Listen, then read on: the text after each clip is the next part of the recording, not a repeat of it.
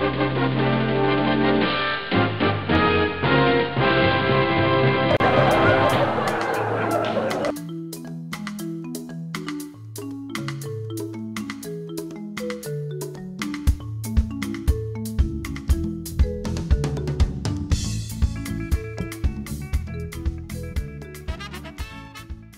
déchiffrage d'accompagnement, c'est un peu un challenge de toujours jouer ensemble.